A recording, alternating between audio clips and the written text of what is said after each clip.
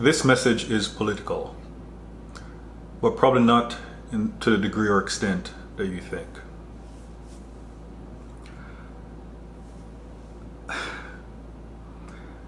The recent midterm elections here in the United States, I saw one thing, when I saw it, I was grieved. And I had nothing to do with the decision. And I didn't know the person was up for re-election. When I saw that Gavin Newsom was re-elected as governor of California, I was like, wow. As an outsider, I've seen things he's done to make a mockery of Lord Jesus Christ and the Word of God. I saw the policies that he implemented during COVID. I know there's a recall election, and apparently he narrowly missed being voted out. But he was reaffirmed. And by reaffirming him, it was like people giving him a pat on the back to keep on doing the things he's been doing. An abortion came up, especially after the reversal of the Roe v. Wade decision during the summer of this year, 2022. And that's where things that he's been confronted on before became even more blasphemous. It's one of the things when things aren't dealt with. If you feed a snake, it will only grow larger. It's not going to morph into something else. And if you see a, a baby snake, snake, it is only going to grow into a larger snake. Wishful thinking is not going to change it. I remember the last time I saw a copperhead. It wasn't an adult copperhead. It was a baby copperhead with a distinctive yellow tail. And I knew that even as a baby copperhead, it still had the ability to, bite. It still had fangs. It still had venom. It was arguably even more dangerous than an adult snake who would avoid certain confrontation or only inject enough venom that is necessary. But again, that little copperhead, I knew all it was going to grow up to be is to be a big copperhead. And when the Lord gives you a glimpse of a person, whether the person is for him or not, and I know that people can repent, but whether the person is for him or not, and you don't respond accordingly, then the consequences may be more to bear. And some of you say, why are you speaking about politics? Shouldn't you be preaching Christ and Him crucified? This is linked to it. In the Bible, there are many instances where people had to vote. Joshua told the people about choose which God they will serve. Elijah confronting the prophets of Baal, telling the people, if Baal be God, then serve him. But if Yahweh be God, serve him. Giving them a choice, voting. And a part of the reason why this is also important. Here recently, there has been some activity on Facebook and one of the things I was inspired to post was being able to discern the lesser of two evils. And why the lesser of two evils? For example, speaking in terms of politics, if there are two politicians and one is going to take you, let me rephrase that. There are two politicians. If one is going to take whichever municipality or principality, if you will, down a certain path. And it's a path that will put you at enmity with God. If both are in the same path, one is going to take you there faster or one is going to take you there slower. So you can say, I'm not going to vote for either. But by your vote, your vote of abstention, you allow others to make the choice for you and others may choose for some choose someone who's going to take that um, that segment of society down a path that enmity with the Lord much faster. And in a sense, if you had voted for the person who could potentially take you there slower or not at all, in a sense, you get to pull the brakes. I know some will say, well, voting doesn't matter and all that kind of stuff.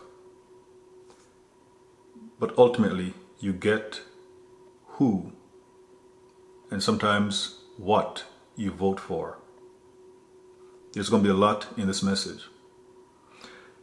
And a part of the reason about discerning the lesser of two evils, because there is a major voting event that took place in the Bible where Pontius Pilate gave the people an opportunity to vote. Vote for Barabbas or Jesus the Christ. In that case, it wasn't the lesser of two evils. It was the case between the perfect Lamb of God. And yes, it was God's will for his son to sacrifice his life. And I've said this before. Would you have wanted to vote for Jesus' crucifixion even though you knew that was God's will? And even on that day, there are some people who voted for Barabbas, or correction, there are some people who voted for Jesus to get crucified, but then there are some who are silent. And not that I'm criticizing their silence, but Jesus' disciples were around, for one, they were outnumbered. But in a sense, because they didn't vote, the only votes that counted were those who were saying, Give us Barabbas. And speaking about Jesus, crucify him. So the thing about choosing lesser of two evils, even that is an important part of discernment. And on that day, when people had the ability to vote, to either vote to release Jesus or Barabbas, they voted for Barabbas. Spiritually, it was great for the world. But who makes that kind of choice? So there was a post on Facebook about the ability to choose between lesser of two evils, if that is what it comes to. Then there's also this. Now, this was from a couple of days ago. And again, this message, what, today's the 14th. So it's been almost a week since election day. And this message has been kind of percolating within me to deliver. So two days ago, I was inspired to post this. There are many ways to determine how the world is separated. One of the ways is those who have the mind of Christ versus those who do not.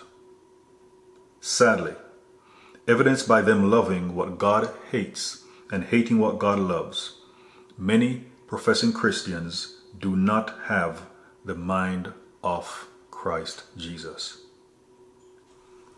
I'm going to call some names.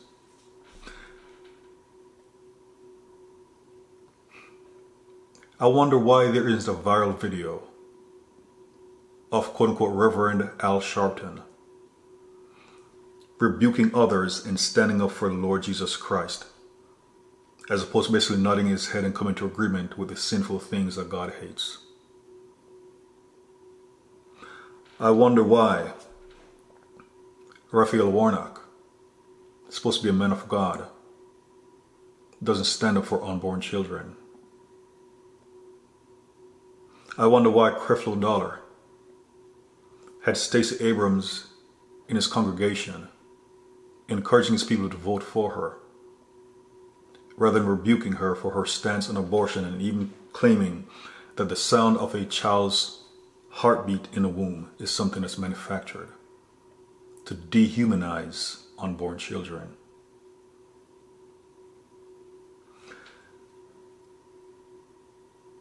And some people, you may focus like, hey, they're all black or Afro American, why are you focusing on them?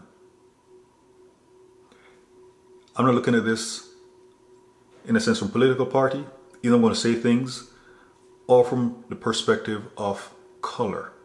This is a part of having the mind of Christ, where even though those individuals mentioned are of my skin color, it is not about looking at their skin color. It is about the mind of Christ. And especially when a person professes to be a Christian or a variation thereof. Some people are Catholics, and if you ask them, hey, um, do you believe in Jesus? You're like, oh yes. Oh, so you're a Christian more than likely, a person going to say that they're Catholic. Similarly for a Mormon. So this is about having the mind of Christ, where it is looking beyond color and looking beyond political party, to truly look for what and who you're voting for. And a part of the reason why I mentioned those individuals' names, Jesus said, To whom much is given, much is required. So Al Sharpton, for any time that he's been given a platform that he has, and he doesn't stand up for the things of Jesus while allowing people to call him a reverend, it's going to count against him heavily on the day of judgment. Creflo Dollar, large platform. Raphael Warnock. These are just but a few. I live here in Kansas, and it was absolutely appalling that for the Democrat Party, the thing that kept on getting forced, in my view, was about abortion. That became the main issue. Now, Republican Party may focus on more monetary things, the economy. And based on feedback from the election, it would seem as if the gods, lowercase g-o-d-s, as if Molech, one who craves child sacrifice, won out more than Mammon, the god of money. Yet, money is still involved. So I kept on seeing things about abortion, abortion, abortion.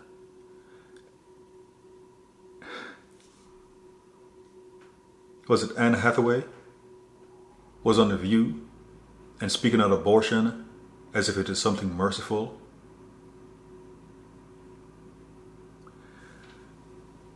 Like I mentioned, this started when I, well, the abortion thing was before the election. When I saw that Gavin Newsom was reelected, a part of my thing was if something happens in California and he does the people the way he did in times past, and the people cry out to the Lord, how long is it going to take the Lord to respond? Because sometimes, like the book of Judges, it shows how, because the Israelites strayed away from the Lord, started serving other gods that he had warned them not to serve. The Lord allowed enemies to afflict them, and then did cry out to the Lord. Blackwood, California, how long, if something happens, will the Lord uh, make Californians cry out to them before he has mercy on them. And that is if he does. Because the Lord has that choice. And then I see that Dan Andrews, the Premier of Victoria in Australia. Victoria, not only the most locked down state, in Australia during the, the COVID outbreak, one of the most locked down places in the world. Things that law enforcement officers did to people for simple violations at the time. And in two weeks, he's up for re-election. And if the people re-elect him, they can't say that they didn't know what they're getting into if something comes up in the future and they need to cry out to the Lord for help. If you have ever been in a position where the Lord delivered you, one of the things after that is to not get back into that situation, especially with the same individual or individuals. Jesus said when a demon is cast out of a person, it is in a dry place and wants to say, let me return to my house. If he sees the house swept clean and is empty. It reoccupies, and not only that, it calls for some other spirits more wicked than itself, and the state of the person is worse than the first. There are many ways demonic entities can re-enter a person. But again, if it happens, it's going to be worse. If the person engages in sin, and the person cries out to the Lord, it doesn't make sense for the Lord to allow the person to suffer the consequences a little bit to the point where the person is like, Lord, I'd much rather you kill me ahead of time, take me off this earth, take me to heaven, than have me continue going down this path because they do not want any more of that. So it's like, how long would a person or a group need to suffer to say, I've had enough of this. Now, I spoke about a demon re entering a person. As we see in the book of Daniel, he spoke about an angel visiting him, but there was difficulty because the angel was locked in a battle with the prince of Persia, an evil principality, and the archangel Michael came to help. There are principalities over areas.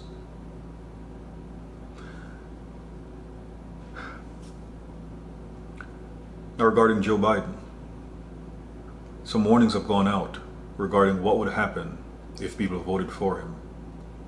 One of the things with the southern border, it is described as porous. People are coming in from all over.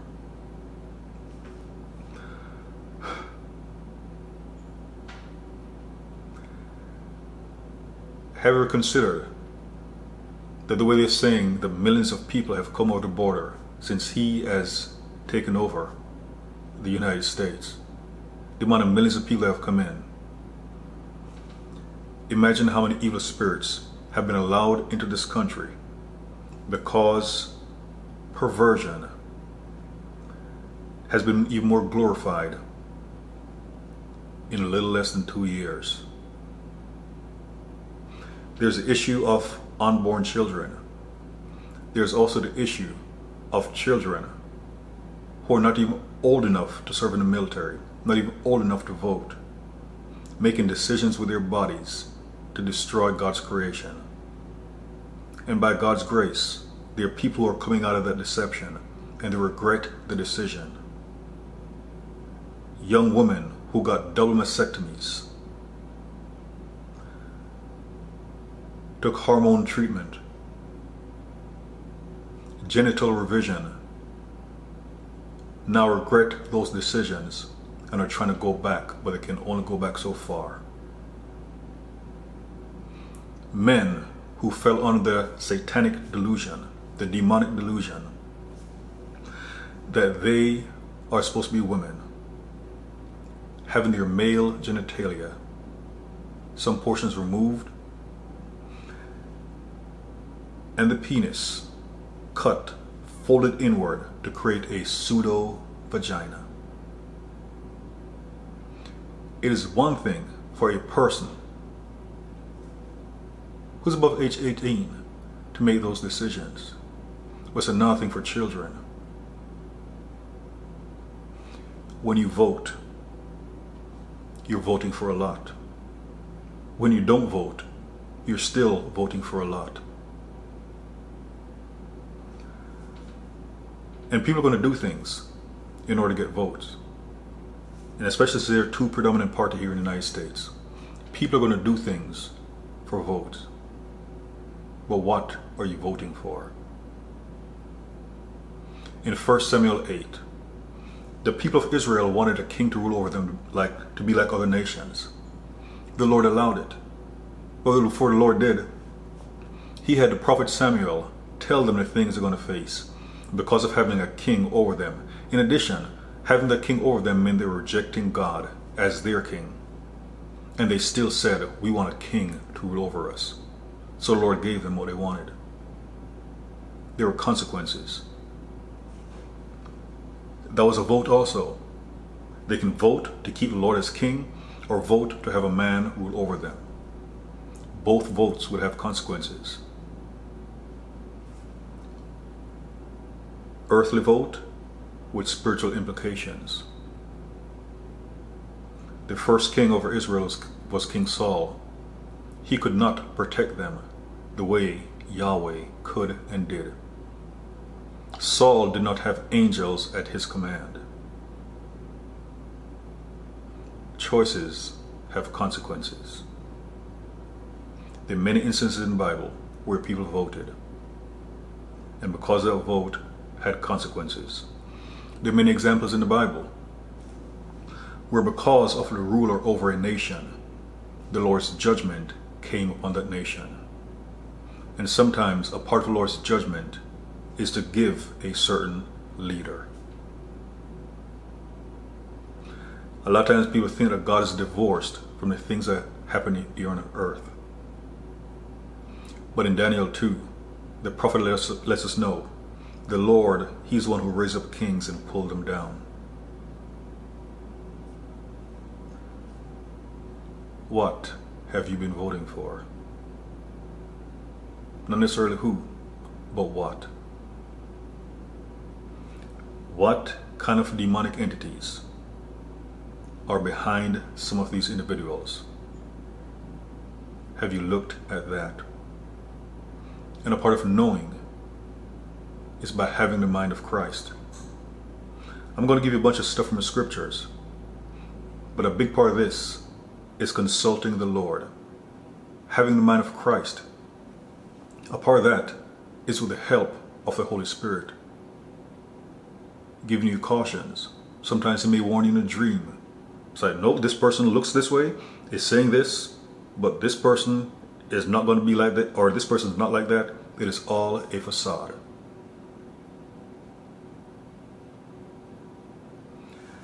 And I find it difficult that the Holy Spirit would encourage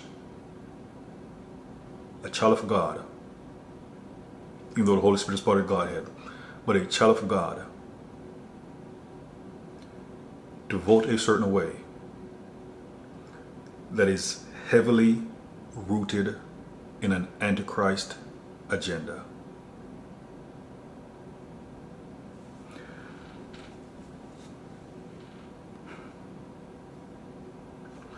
So again, based on this post, there are many ways to determine how the world is separated. One of the ways is to is those who have the mind of Christ versus those who do not.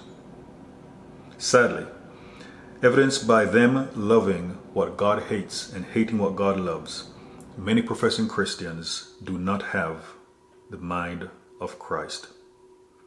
And by the way, for, for some very special reasons. What basically turns out to be a meme. The background color is red. Red. Are you about the blood of the Lamb, the Lord Jesus Christ? Or are you about making sacrifices to other gods? And then there are two emojis, one of a sheep, another of a goat. And as someone who has a mind of Christ, you know exactly why that is. If you're not sure yet, you'll find out here in a few. So now I'm going to hit up some scriptures regarding the mind of Christ. And especially when I see someone like on television and a person's professing to be a, a reverend, like someone I saw this morning, a minister and she was speaking about others. And I'm like, this woman says she's a minister, but she doesn't know God. Doesn't know God at all. It's one of the cases of a blind leading the blind. And unfortunately, with some media organizations, they will find a minister who will affirm what they're doing. A minister who will not stand up and give people the heart and mind of God regarding certain things. But also in Deuteronomy 13, 1 through 5, where Lord spoke about if there's a prophet or dream of dreams who arises among you and gives you a sign or a wonder, tells you something and it comes to pass, but leads you to another God, about not following that prophet or dream of dreams, and that the Lord is testing you to see if you love Him. So some ministers coming and is encouraging you to vote for a certain person or political party, and it's steeped in the Antichrist. And with this, I'm not even telling you to vote Democrat or Republican, because like one Democrat congressman that I know of, he's pro life. So I'm not telling you to vote Democrat or Republican when you're voting about having the mind of Christ. As I said in a recent broadcast, if you speak to me at 6 a.m., the level of the Holy Spirit that's in me, the type of conversation is going to be the same as if you spoke to me at noon, a little bit later in the afternoon, at midnight. It's not going to change. And likewise, having the mind of Christ, let Him influence, especially when you're going to vote. People voted for Barabbas and voted to have Jesus crucified. There's a vote that is coming up, and people are going to vote for the Antichrist. Not like the, the many Antichrists around this world, but they're going to vote for the Antichrist. Things are going to go well for a while, and then things are going to flip. A part of the Bible, we're at the Last Supper. Jesus asked his disciples, or told his disciples that one of them was going to betray him. None of them came out and said, Oh, we know it's Judas. And even Judas himself said, Master, is it I? Knowing he had already set the conditions to betray Jesus. They couldn't discern he was the one. Likewise, people are going to fall for the Antichrist. And if you're around for that vote, I pray that you vote the right way. If you're for the vote to take the mark of the beast or not, and to worship his image, I pray you vote the right way.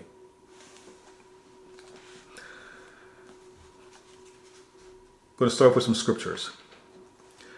In 1 Corinthians 1, verse 10,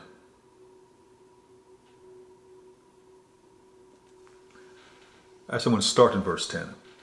Now I exhort you, brethren, by the name of our Lord Jesus Christ, that you all agree and that there be no divisions among you, but that you be made complete in the same mind and the same judgment.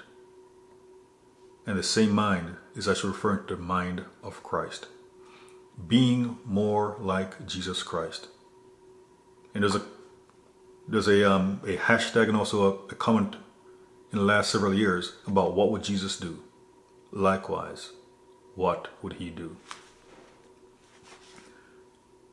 For I have been informed concerning you, my brethren, by close people, that there are quarrels among you. Now I mean this, that each one of you is saying, I'm of Paul, and I of Apollos, and I of Cephas, and I of Christ. Has Christ been divided? Paul was not crucified for you, was he? Or were you baptized in the name of Paul? Remember who you are and whose you are. And the commentary I heard this morning, they spoke about a political candidate and they spoke about the candidate's past. And apparently the candidate said something about being saved by God's grace. Aren't we all who are saved?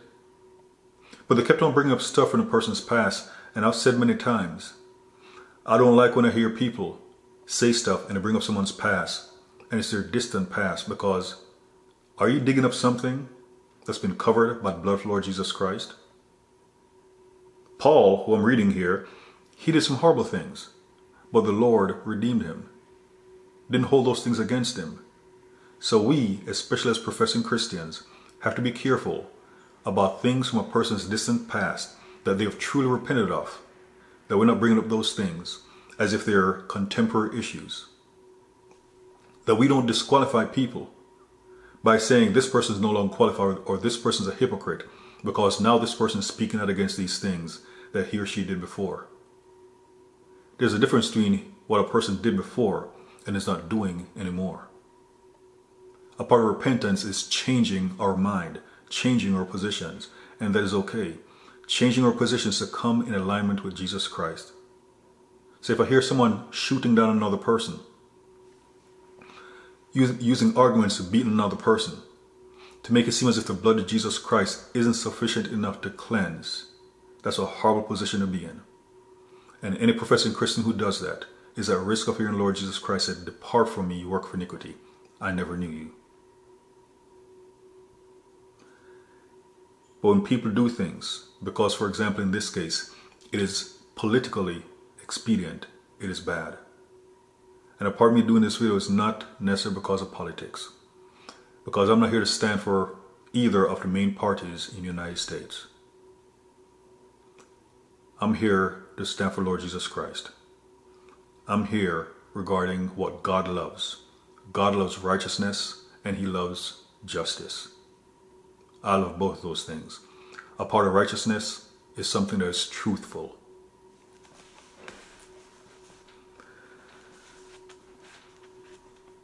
Now skip over to 1 Corinthians 2. And when I came to you, brethren, I did not come with superiority of speech or of wisdom, proclaiming to you the testimony of God. For I determined to know nothing except nothing among you except Jesus Christ and him crucified. I was with you in weakness and in fear and much trembling. And my message and my preaching were not in impressive or in persuasive words of wisdom, but the demonstration of the Spirit and of power, so that your faith would not rest on the wisdom of men, but on the power of God. Yet, we do speak wisdom among those things, among those who are mature of wisdom. And by the way, the fear of the Lord is the beginning of wisdom. Paul spoke about not putting faith on the wisdom of men. And likewise, do not put your trust in a political party. Put your trust in the Lord Jesus Christ. Let him guide you into all truth. So again, yet we do not speak wisdom among those who are mature. A wisdom, however, not of this age, nor of the rulers of this age, who are passing away. Speaking about passing away, there's some people, simply based on their chronological age, they're too close to meeting Lord Jesus Christ to be playing these kind of games. And the things that they find politically expedient now are going to be held against them on the day of their judgment. But we speak God's wisdom in a mystery, the hidden wisdom which God predestined before the ages to our glory. The wisdom which none of the rulers of this age has understood. For if they had understood it, they would not have crucified the Lord of glory. Again, Jesus' crucifixion was based on votes. Votes among the chief priests and elders, who all they wanted to do was find something to indict Jesus so they could have him crucified. They weren't interested in justice, they were perverting justice. And by the way, speaking about this wisdom, you may notice a lot of, a lot of rulers of this age, they're stressing climate change. Now, when these rulers are professing Christians or a variation thereof, when they're warning about climate change, are they warning people about going to hell for sin? Because in the Bible, the many stories involving climate change. It was a major climate change. It hadn't rained on the earth until the great flood during the time of Noah.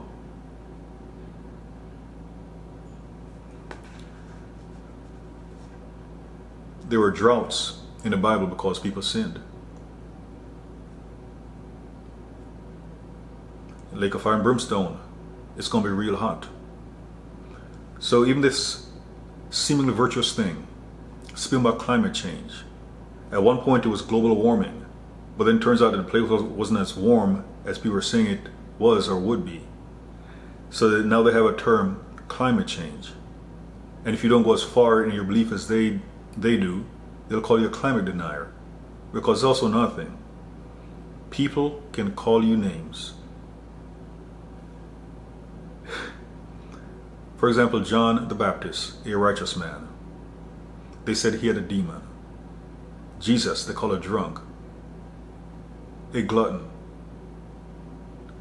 and other names But none of those names could stick because what they were saying was not true. And sometimes people, because they may call you a name, it will stop some individuals from speaking the truth. The truth is offensive. Personally, I do things to quote unquote do my part to take care of the planet. But am I going to go overboard with it? So a lot of people are talking about doing things for the earth. They say they're Christians, but they're not speaking about Christ the way they're speaking about the earth. And they've made the earth their God, or one of their gods.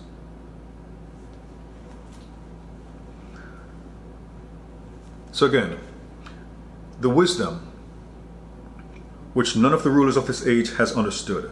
For if they had understood it, they would have not have crucified the Lord of glory.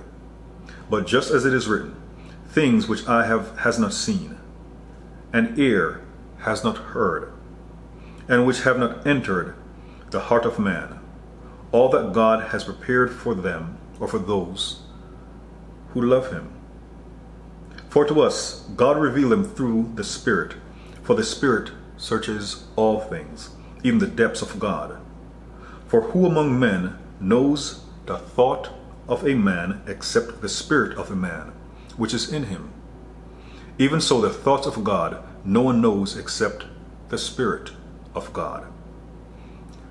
Now we have received not the Spirit of the world, but the Spirit, capital S, who is from God, that we may know the things freely given to us by God. I pause for a second. For we have not received, for we have received not the Spirit of the world, but the Spirit who is from God. Many people, they're being led by a spirit of the world. Some describe it as the, zeitgeist, the spirit of the age. So like the thing about caring about the earth, it seems like something noble. But some of the things they've said, it is not adding up. Things they warned about would happen did not happen. In fact, the opposite happened. Using the spirit of the world, but not pointing people to the Lord Jesus Christ. Salvation is not going to come from quote unquote saving the planet. Salvation comes through the Lord Jesus Christ. Continuing. Which things we also speak, not in words taught by human wisdom, but in those taught by the Spirit, combining spiritual thoughts with spiritual words. But a natural man does not accept the things of the Spirit of God, for they are foolishness to him, and he cannot understand them because they are spiritually appraised or spiritually discerned. But he who is spiritual appraises all things, for he himself is appraised by no one.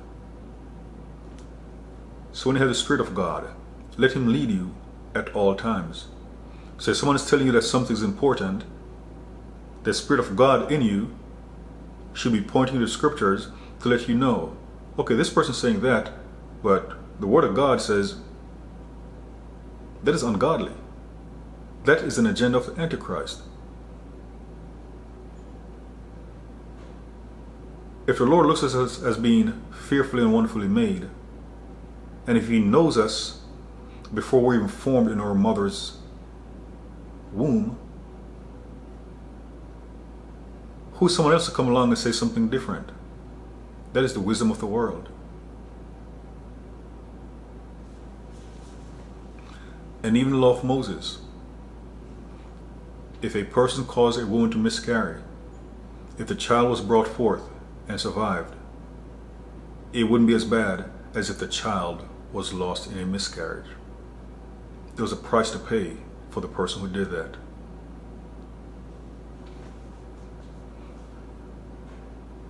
And in verse 16, For who has known the mind of Christ, or the mind of the Lord, that he will instruct him? but we have the mind of Christ. So we need the mind of Christ. When people are telling us things, to make it seem as if this is the best decision, that because we have the mind of Christ, be like, uh uh there's something more important. Some of the wickedness that have come forth in this time. And it's amazing what they used in their efforts to get votes, even if it meant the death of innocent children. And nothing else inspired the post recently is that it starts with children, and the next order are going to be adults, geriatrics, those whose lives they think is no longer worth anything.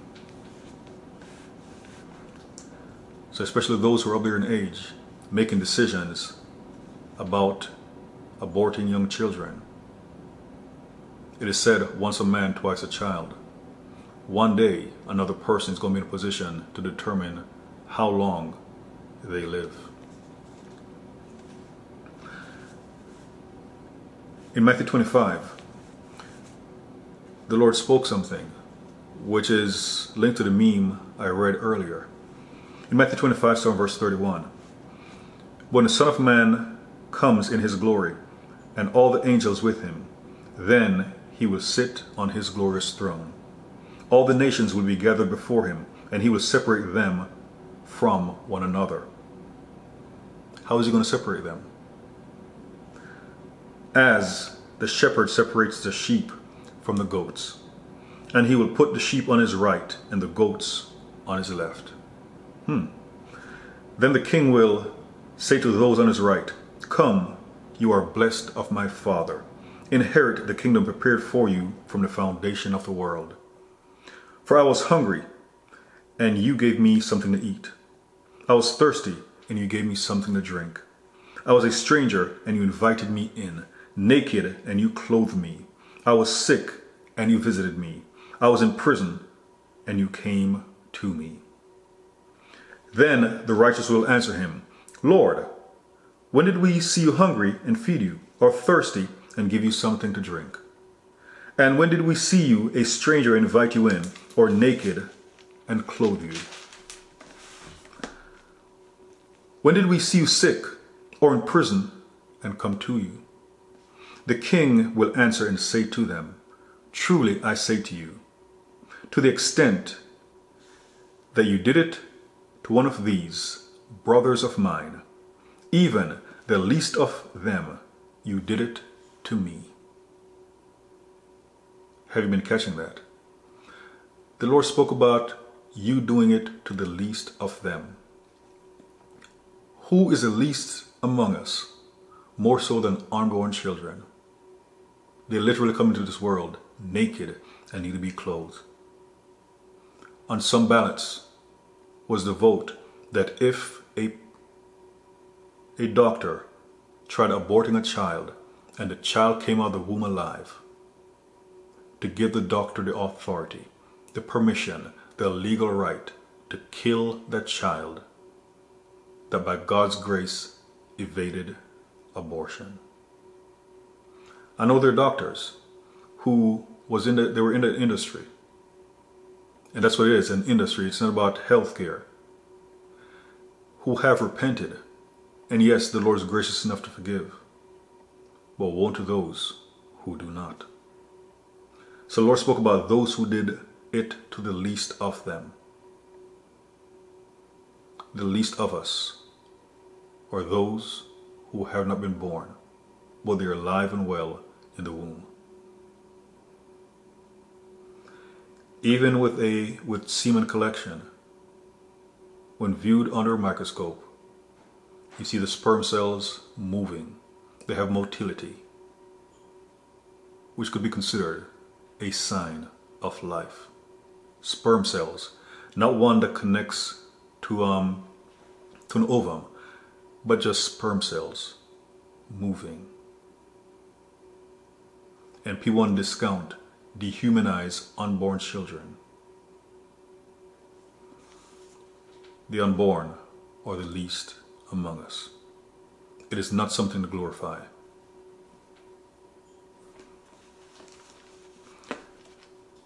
And it's not like people who are pushing abortions to the level. It's not that they're saying, well, if a person has an ectopic pregnancy where the fertilized egg is in the fallopian tube, not because of complications, medical complications. Oh, and for a person who has the mind of Christ, rather than a sense having abortions being the first go-to, they'll start suggesting things like abstinence. Again, there are people out there, they say they're Christians, but they're not standing up for God's agenda. They're more focused on a political party.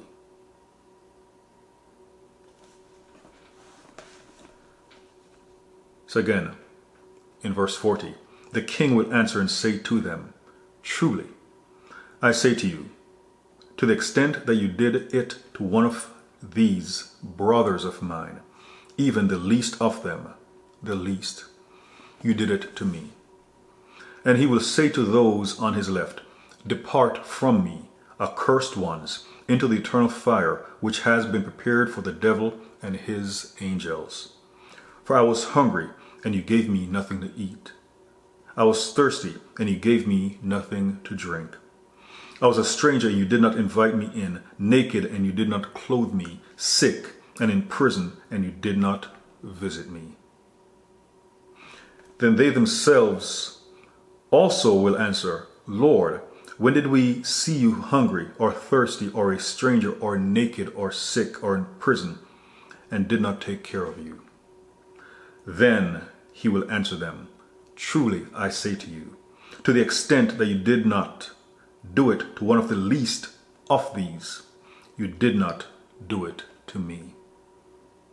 These will go away into eternal punishment, but the righteous into eternal life. The least. The least. When people glorify abortions to such an extent and using that for political purposes, God will judge.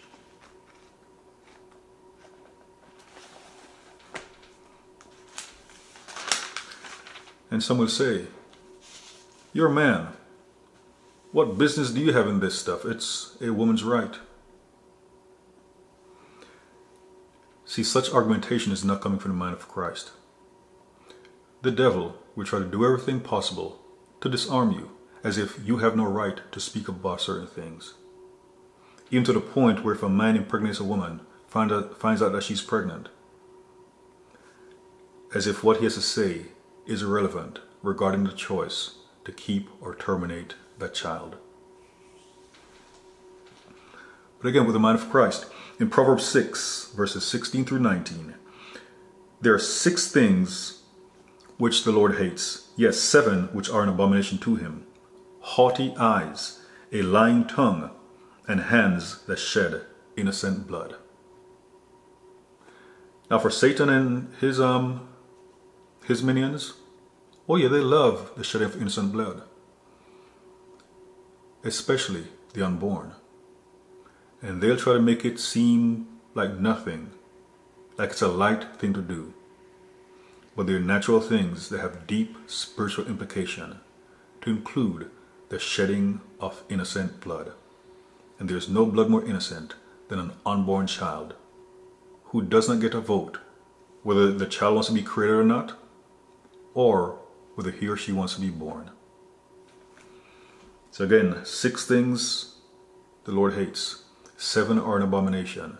It includes hands that shed innocent blood, a heart that devises wicked plans. Hmm. In Isaiah 5 7 verse 20, the prophet warned, Woe unto those who call good evil and evil good. So trying to downplay abortion, the brutality of it, calling evil good. A heart that devises wicked plans, feet that run rapidly to evil, a false witness who utters lies, and one who spreads strife among brothers. Six things God hates. Six things God hates. Seven are an abomination to him, to include hands that shed innocent blood. And there is no blood more innocent than the least of us, those who are still in the womb.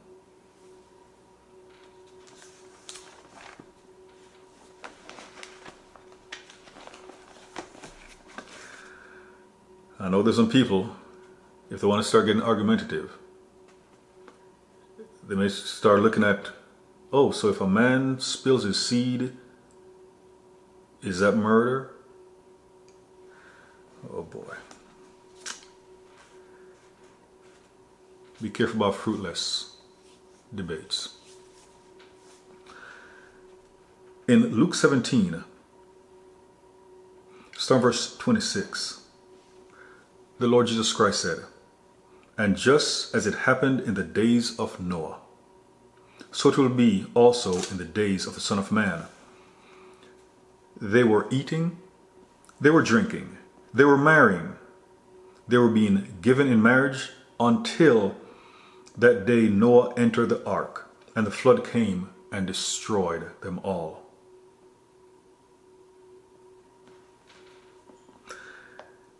It was the same as happened in the days of Lot. They were eating, they were drinking, they were buying, they were selling, they were planting, they were building. But on the day that Lot went out from Sodom, it rained fire and brimstone from heaven and destroyed them all. The Lord mentioned towards the end, it'll be like the days of Noah and the days of Lot. And literally the background behind me, the water, like the days of Noah, the fire from above, the days of Lot. Something both stories have in common. Like I mentioned California earlier. I know there are Christians in California. I know there's a church out there where people question, question if those individuals are Christians or not, but I know there are Christians in California and those who didn't vote for someone who has demonstrated such antichrist tendencies. But the two, or the thing that, or one of the things that the story of Noah and Lot have in common, it speaks about a remnant. Everyone did not get saved, but people were warned. And you never want to get to a position where the Lord hands you over. In the story of Noah, only eight people survived. Everyone else got killed by the climate change event. In the days of Lot, only three people ended up escaping from the city. Everyone else got killed by a climate change event. Even though there were many people, there were people who could have gotten out, but they didn't heed the warnings. Some of the primary ones, Lot's two son sons-in-law, they were told they thought it was a joke until the fire came, but at that point in time it was too late. Lot's wife, who made it out of the city, was told not to look back. She looked back and was turned to a pillar of salt. Only Lot and his two daughters made it out the Lord has the ability to preserve certain individuals. That may not always be the case. And I've been in positions where being a part of a team, where if one person messed up, everyone would get punished. I didn't like it. Especially if I was doing everything I needed to do, I didn't like getting punished because other people wouldn't get it together. But there's some lessons to learn in it. And I still don't like getting punished because other people are messing up. But the good thing is that as a Christian, if you do suffer with those who causes suffering, is that even if you're to die, you're not going to go to hell with them.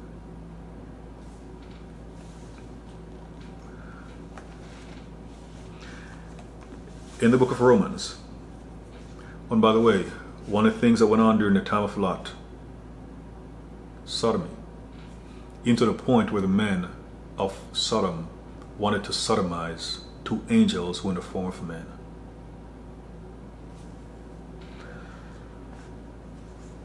Part of that is lawlessness.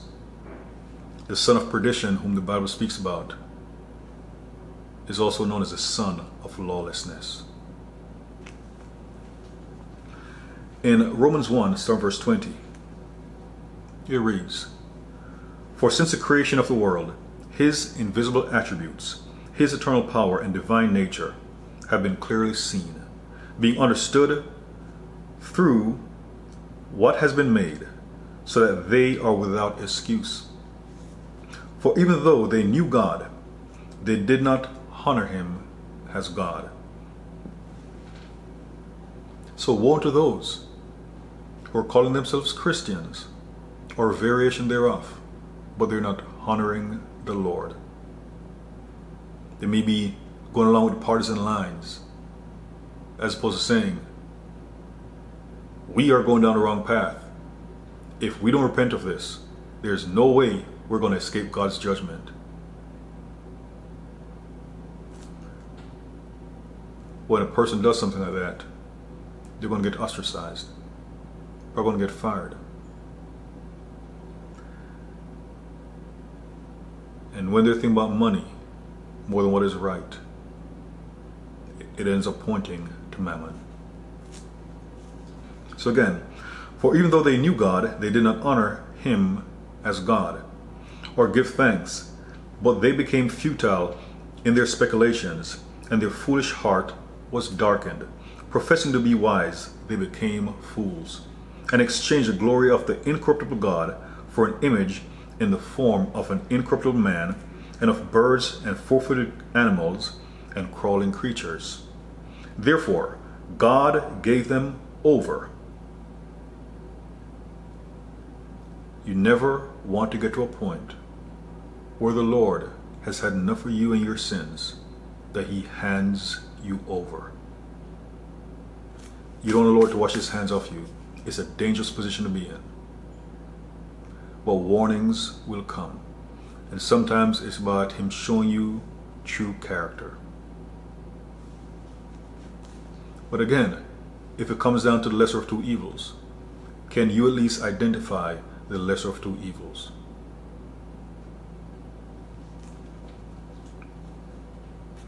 Therefore, God gave them over in the lust of their hearts to impurity, so that their bodies would be dishonored among them.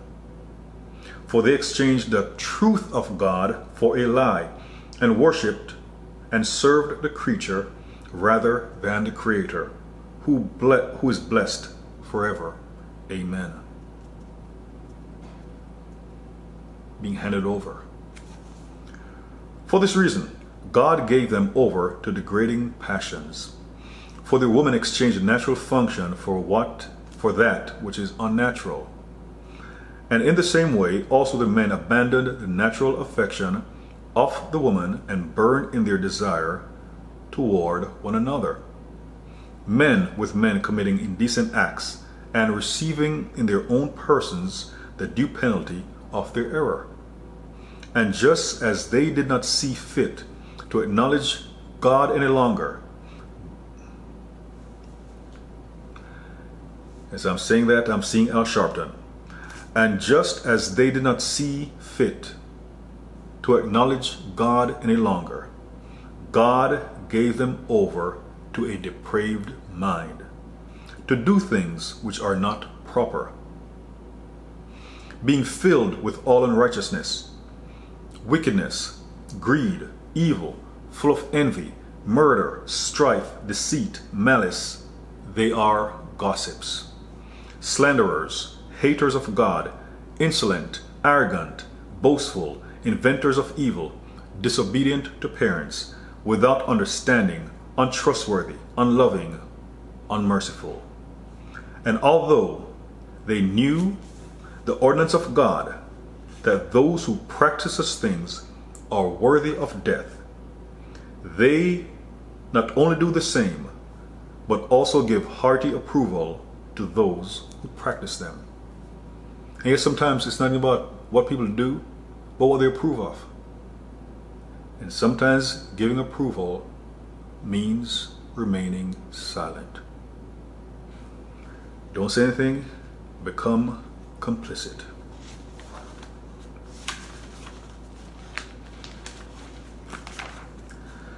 I'm using this version of the Bible for ease of understanding.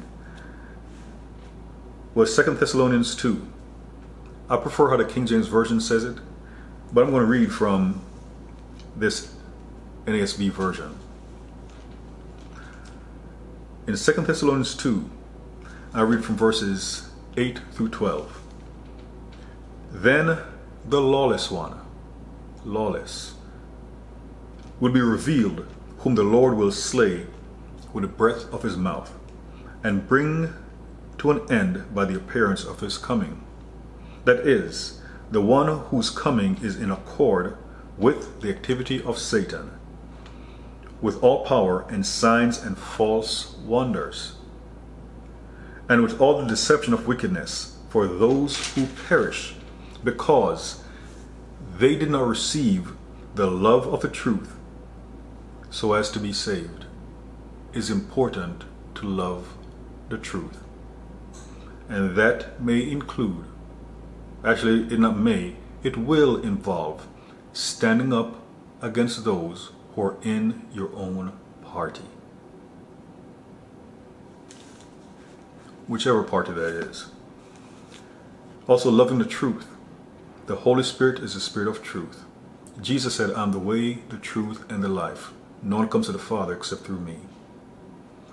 Jesus also said, Those who worship the Father must worship Him in spirit and in truth. So if people see others spreading lies and not saying anything, that means they're not standing for the truth, which means they're not standing for God. In verse 11, for this reason, God will send upon them a deluding influence, so that they will believe what is false, in order that they all may be judged. The King James Version says damned, who did not believe the truth, but took pleasure in wickedness. Took pleasure in it. And taking pleasure in wickedness starts with tolerating it. In Revelation 2, the Lord rebuked the church of Thyatira for tolerating the woman Jezebel, who was leading his servants into sexual immorality and eating food sacrificed unto idols. The Lord spoke the same thing about Balaam, leading people astray.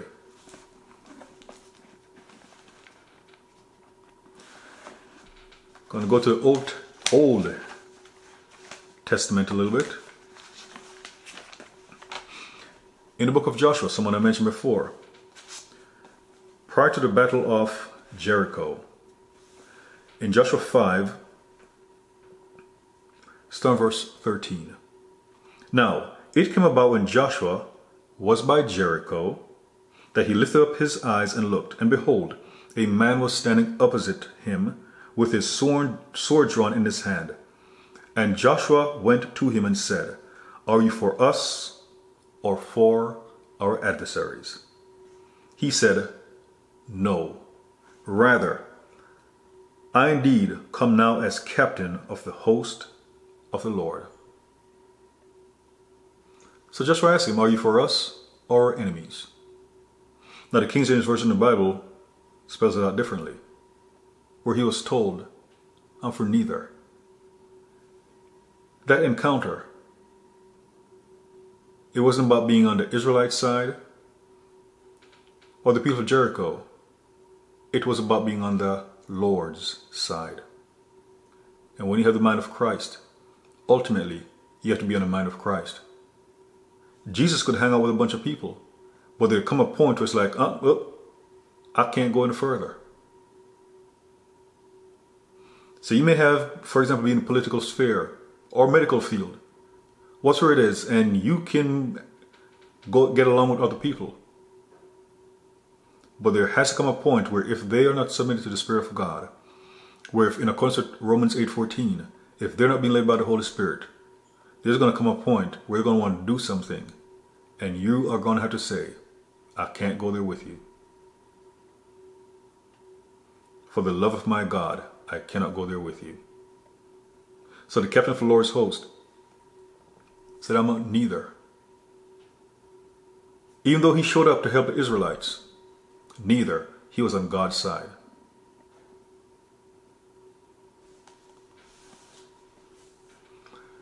John the Baptist, he wasn't on the side of the, the chief priest. He wasn't on the side of King Herod. He was on the Lord's side. So again, no. Rather, I indeed come as captain of the hosts of the Lord. And Joshua fell on his face. In fact, in Ephesians 6, it speaks about us being ambassadors of Christ. As an ambassador, you shouldn't be bound the knee to another God. Lowercase G-O-D. And Joshua fell on his face to the earth and bowed down and said to him, What has my Lord to say to his servant? Are you submitting to those who are not submitting to God? And by submitting, I'm not just speaking about obeying the laws of the land, but are you bound down to things that God has commanded you not to. The captain of the Lord's host said to Joshua, Remove your sandals from your feet, for the place where you are standing is holy. And Joshua did so. Many people are bound down to other gods. Idolatry.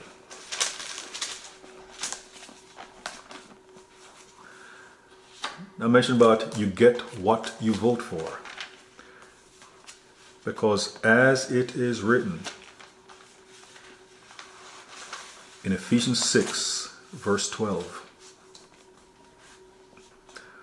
For our struggle is not against flesh and blood, but against the rulers, against the powers, against the world forces of this darkness, against the spiritual forces of wickedness in the heavenly places.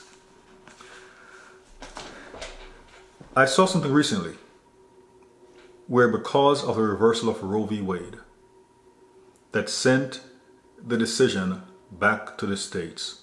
So each states or each state gets to come up with their own abortion laws. How permissive or how restrictive it is. But the striking down of that decision was a major thing and from the kingdom of darkness, they have everyone marked who had anything to do with the reversal of that decision. Because I saw something recently, I'm not sure where it was, but I think there was a part of a lawsuit. But because of the reversal of Roe v. Wade, I think like in one month in a certain area, 10,000 abortions were not able to be performed. That means 10,000 babies who would have been killed are being allowed to be born. I know some people use the argument about rape and incest, but the stats I've seen speaks about that being like 1% of the cases that results in an abortion. So 10,000. That's blood the enemy wants and cannot get. And in turn, he wants the blood of those involved in cutting off his supply. But of course, what the enemy can't get one way, he'll try to get another. So if he can't get innocent blood, he'll try to get other blood. Going back to the time of Noah, the Lord spoke about the life force being in blood. Sins were atoned for by the shedding of blood. Covenants are formed by the shedding of blood. It is used in the kingdom of darkness. And for a while, the shedding of innocent blood unborn children in the United States was a big thing for the enemy. Flipping to the prophet Isaiah, in a sense, going to kick things up a notch. God is gracious, but as we saw in Romans 1 and 2 Thessalonians 2, he will turn people over to their sinful activities, and they're going to reap the prices, the consequence of their actions. In Isaiah 1, start verse 15 through 20. So when you spread out your hands in prayer, I will hide my eyes from you. It can get that bad, where people actually start crying out to the Lord and he refuses to hear. So again, so when you spread your hands in prayer, I'll hide my eyes from you. Yes, even though you multiply prayers, I will not listen. Whichever nation you're in, you never want to get to that position with the Lord where you're praying to Him and He stops listening. And if that doesn't serve like the God or sound like the God whom you serve, imagine how many persons are going to be crying out when it's time for the lake of fire and brimstone. And even though they're going to be crying, the Lord will no longer hear. So again, so when you spread out your hands in prayer, I'll hide my eyes from you. Yes, even though you multiply prayers, I will not listen. Your hands are covered with blood. Wash yourselves, make yourselves clean, remove the evil of your deeds from my sight. Cease to do evil, learn to do good, seek justice, reprove the ruthless defend the orphan. If we're supposed to defend the orphan, should we also defend the unborn? Defend the orphan. Plead the widow. Come now, let us reason together, says the Lord. Though your sins be, are as scarlet, they will be as white as snow. Though they are red like crimson, they will be like wool. If you consent and obey, you will eat the best of the land. But if you refuse and rebel, you will be devoured by the sword.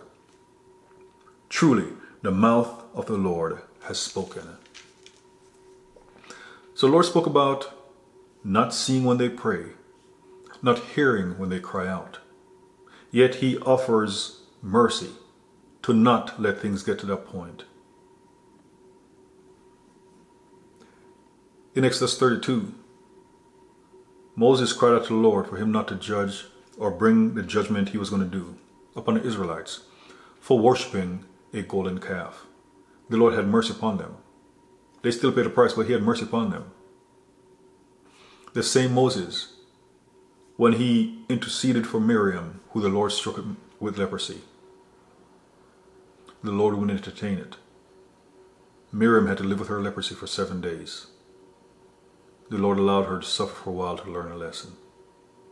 The Lord is gracious, but He cannot allow certain things to continue, and He will not allow to continue indefinitely.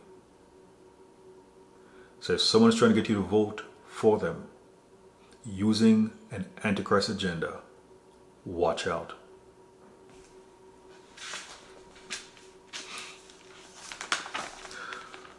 Also in Isaiah 59, Start verse 1. Behold, the Lord's hand is not so short that it cannot save, nor is his hair so dull that it cannot hear. But your iniquities have made a separation between you and your God. And your sins have hidden his face from you so that he does not hear. Sin is a problem. But especially when a person is supposed to be a minister of Jesus the Christ, and they're in a position, even in a secular job, where they're not standing for the things of the Lord, it's an issue. They're going to have to give an account of themselves to the Lord, and to whom much is given, much is required. For your hands are defiled with blood. This blood thing again. For your hands are defiled with blood, and your fingers with iniquity. Your lips have spoken falsehood.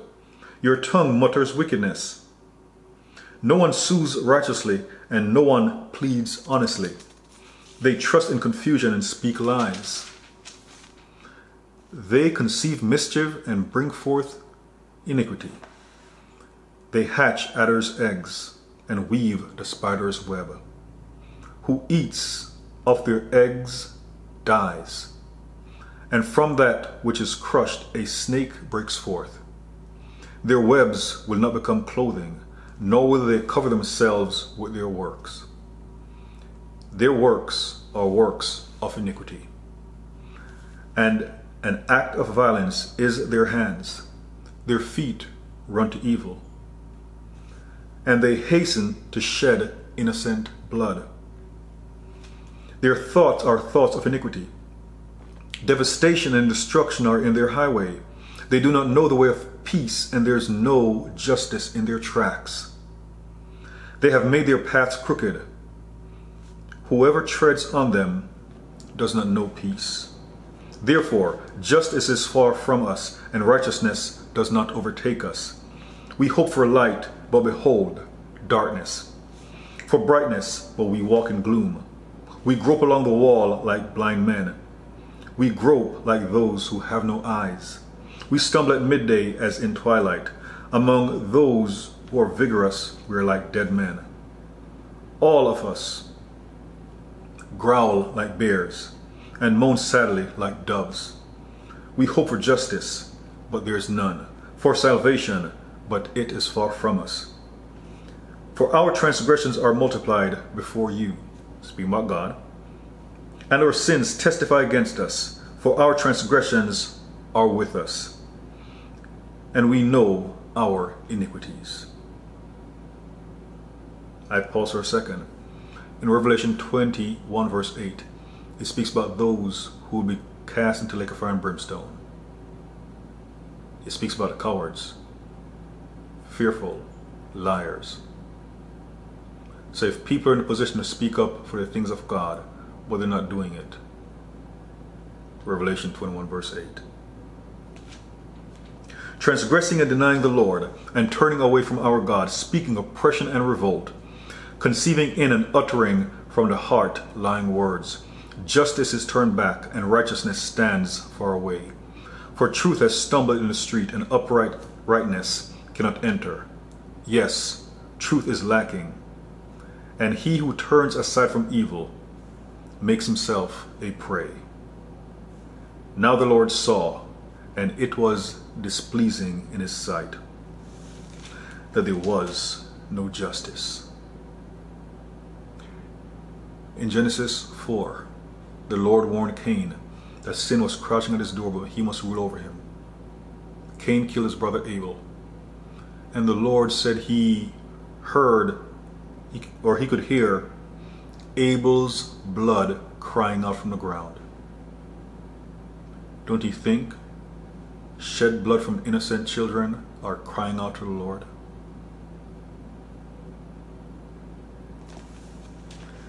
Is that something? The Lord can block hearing people's prayers because they're so sinful. But he can hear the blood of the unborn crying out to him. As he said, the life force is in the blood. He can hear the blood crying out. As was the case with the death of Abel.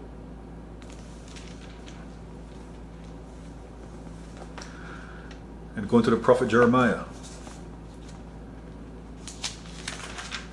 Because sometimes it seems as if people forget about this side of God. In Jeremiah 7, verse 16, it is written, The Lord said, As for you, do not pray for this people, and do not lift up cry or prayer for them and do not intercede with me, for I do not hear you. I mentioned like California. Imagine things getting to a point in California and Christians are from California crying out. And Lord tells him, don't even bother making prayer.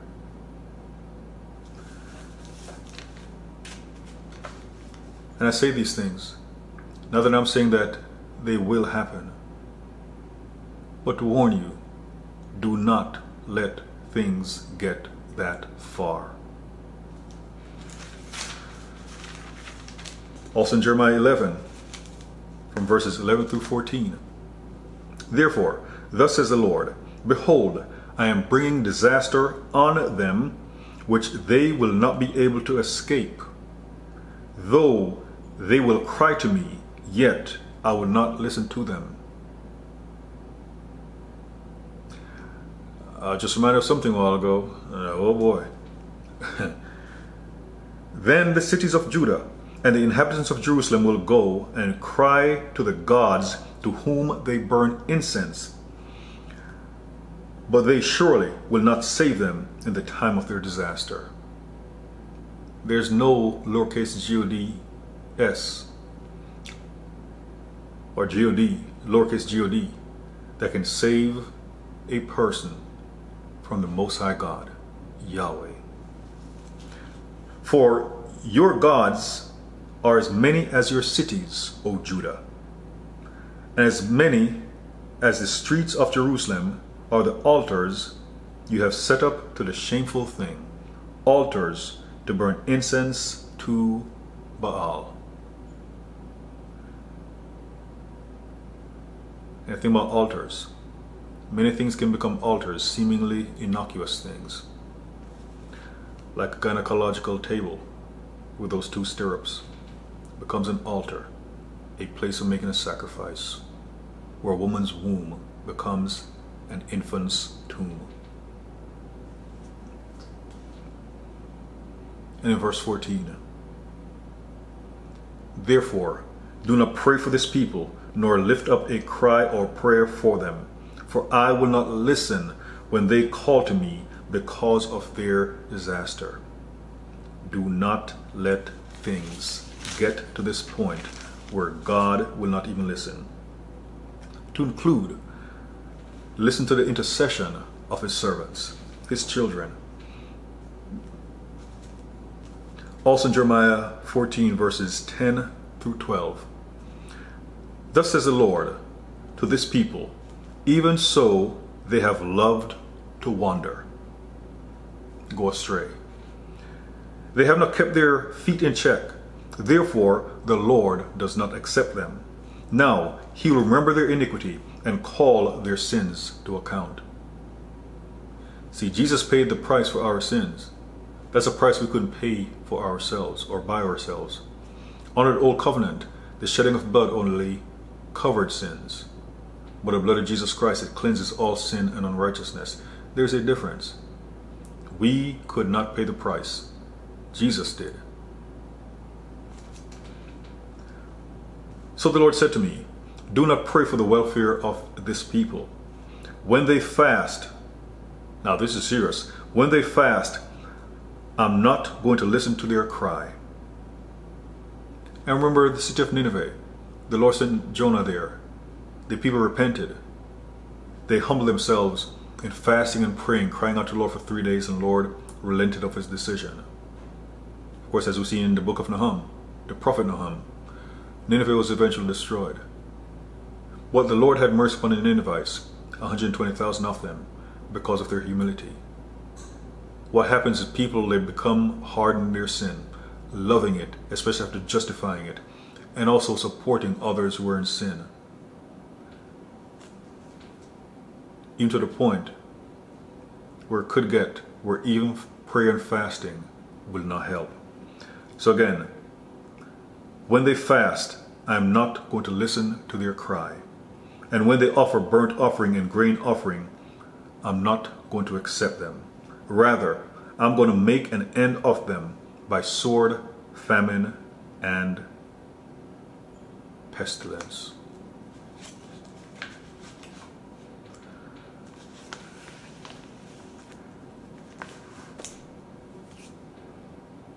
It is important to stand up for the Lord, to stand for the truth, despite the personal cost to you. Because the enemy will push you to the absolute limit to see how willing you are to stand for the Lord. In the book of Daniel, chapter 3, and I'm going to read from verses 13 through 28. Nebuchadnezzar, king of Babylon, had his men build a golden idol. That when people heard a sound, they had to worship. That was a decree by the king. Well, there were three men, Meshach, Shadrach, and Abednego, Hebrews. They were not going to comply. It made the king angry. Their life was at stake. Then Nebuchadnezzar, in rage and anger, gave orders to bring Shadrach, Meshach, and Abednego. Then these men were brought before the king. Nebuchadnezzar responded and said to them, Is it true, Shadrach, Meshach, and Abednego, that you do not serve my gods or worship the golden image that I have set up? Now, if you are ready, at the moment you hear the sound of the horn, flute, lyre, trigon, psaltery, and bagpipe, and all kinds of music, to fall down and worship the image that I have made very well. but if you do not worship, you will be immediately, or you'll immediately be cast in the midst of a furnace of blazing fire. And what God is there who can deliver you out of my hands? There's some things going on right now, and there are people who are in the fire to cave to the powers that be. And some have made a decision that they won't.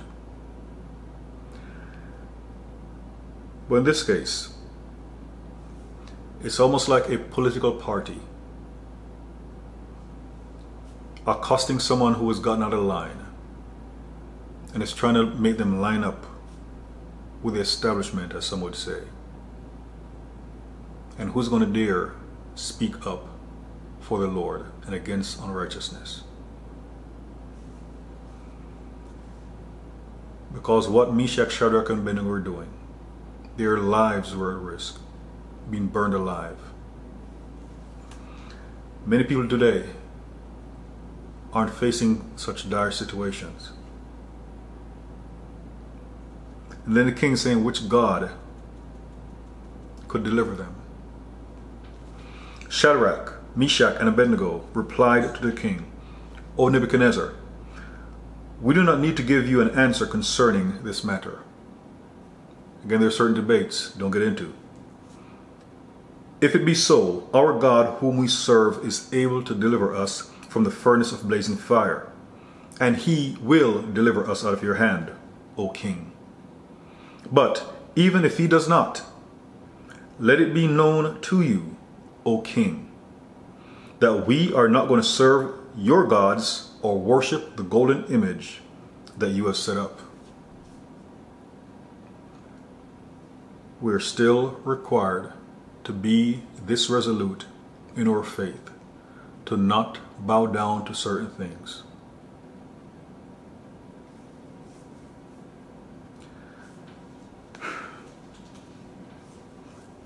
Can you imagine if Meshach, Shadrach, and Abednego if they had to bear witness against you by saying, We faced a fire, but we stood firm in our faith.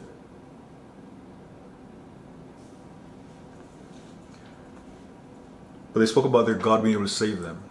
But even if He doesn't. And Jesus spoke about, Do not fear Him who can kill a body and no more. but fear Him who can kill a body and cast body and soul into hell. Fear Him. Do not fear anyone more than you fear the Lord.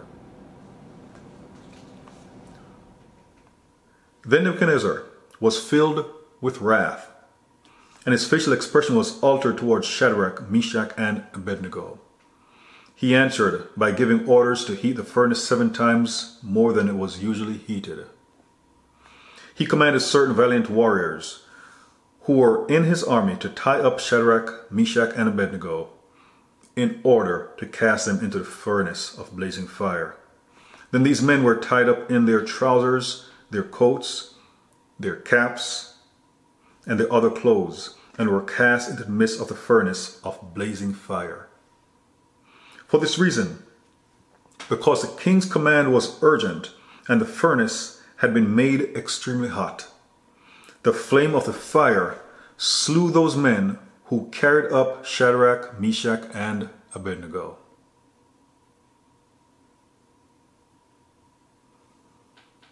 So the one who executed the king's orders, they got killed by the fire.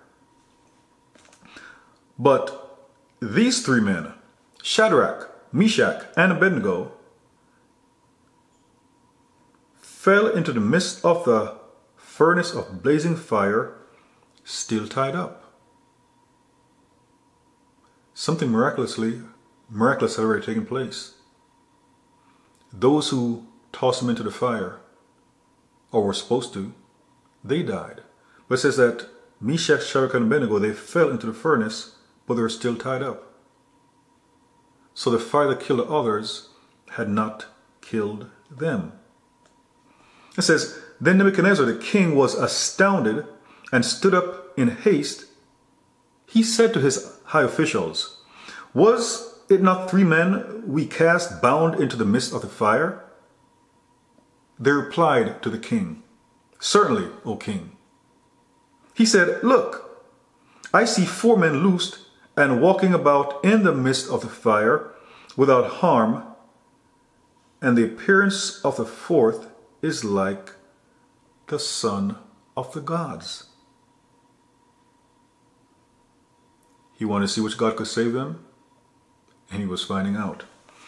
Then Nebuchadnezzar came near to the door of the furnace of blazing fire. He responded and said, Shadrach, Meshach, and Abednego, come out, you servants of the Most High God, and come here. Then Shadrach, Meshach, and Abednego came out of the midst of the fire.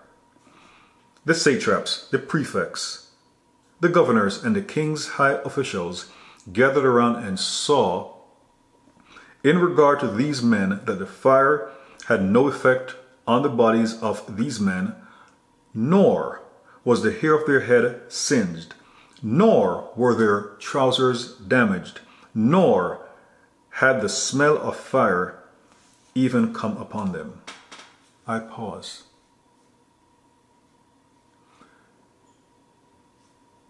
The enemy will try to punk you out. Ephesians 6.12, we do not wrestle against flesh and blood. So it could be one of his servants and that person who's serving the devil is standing adamant to his or her faith. And a part of the test is to see if you are going to stand firm in your faith. Because if you don't believe in your God enough to stand firm in your faith despite the cost, then they have no reason to respect you. See, if Meshach, Shadrach, and Abednego had died, at least they could have said, or there's a possibility they would have said it. You know they died, but at least they believed in what they were standing for. Many Christians today, they say they believe in the Lord Jesus Christ, but they won't stand for him. And it doesn't take a fire for them to back away from him.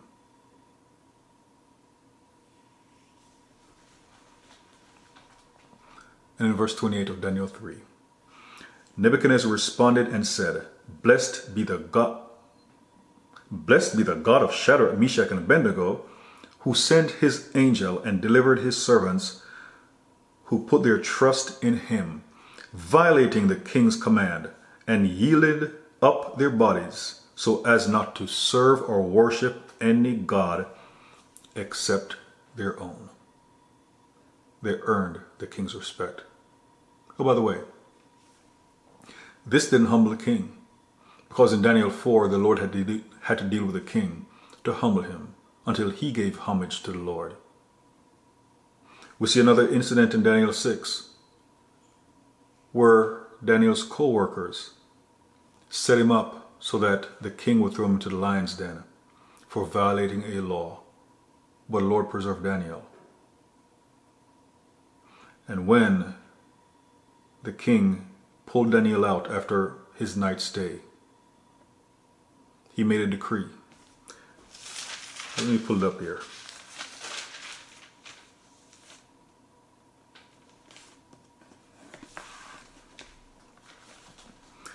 In Daniel 6, verse 25. Then Darius, the king, wrote to all the peoples, nations, and men of every language who were living in all the land may your peace abound. I make a decree that in all the dominion of my kingdom men are to fear and tremble before the God of Daniel. For he is the living God and enduring forever, and his kingdom is one which will not be destroyed, and his dominion will be forever. He delivers and rescues and performs signs and wonders in heaven and on earth, who has also delivered Daniel from the power of the lions.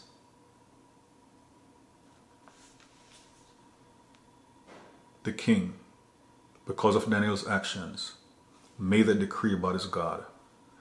But when you have Christians bowing their knee and capitulating for simple things, they will not get the respect they're striving for.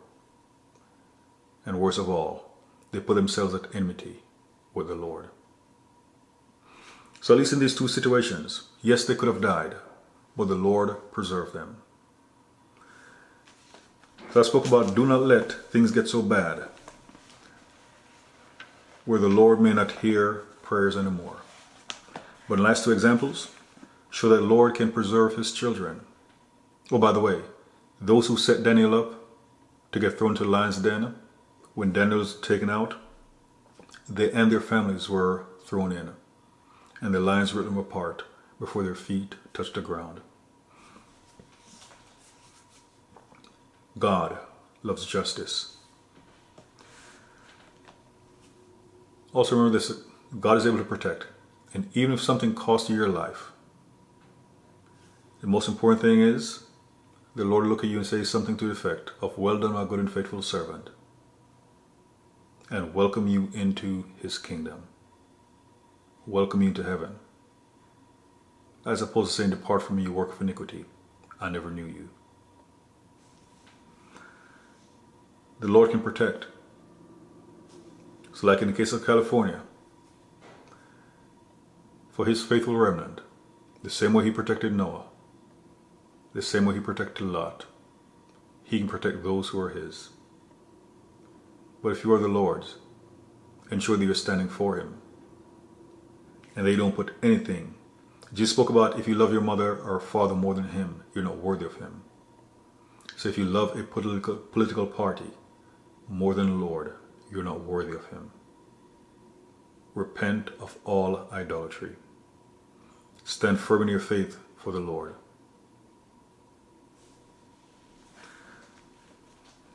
In Exodus 8, to show the Lord's protection or his ability to protect, is in Exodus 8, verses 20 through 23. Now the Lord said to Moses, Rise early in the morning and present yourself before Pharaoh as he comes out of the water, and say to him, Thus says the Lord, Let my people go, that they may serve me. For if you do not let my people go, behold, I'll send swarms of flies on you, and on your servants, and on your people, and into your houses and the houses of the Egyptians will be full of swarms of, fly, of flies, and also the ground on which they dwell. But on that day I'll set apart the land of Goshen, where my people are living, so that no swarms of flies will be there, in order that you may know that I, the Lord, am in the midst of the land. I will put a division between my people and your people. Tomorrow, this sign will occur. Hmm. Of course, also on the day of Passover, those houses with the lintels covered with the blood, they were protected from the destroyer. It shows the Lord's ability to protect. And a part of standing firm in faith is standing for the things of the Lord, knowing that He can protect, He can provide. Everything you received in this life was by His grace, anyhow. So do not bend the knee to the enemy. Do not bow. Do not put another God before the Most High God. Do not put skin color above God. Do not put a political party above God.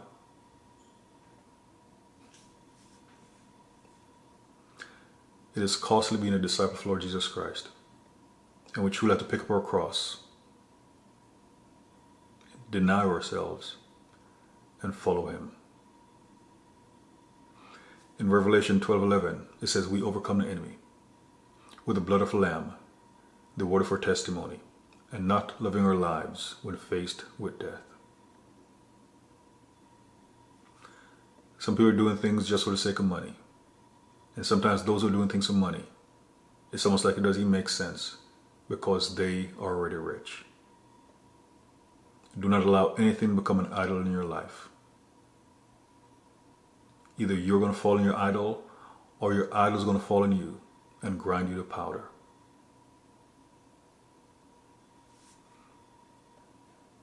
So about the election. You got what you voted for. If someone came with an Antichrist agenda, you got a devil in your midst. If you didn't vote for the person, there's still an Antichrist agenda, if that is what is prevailing.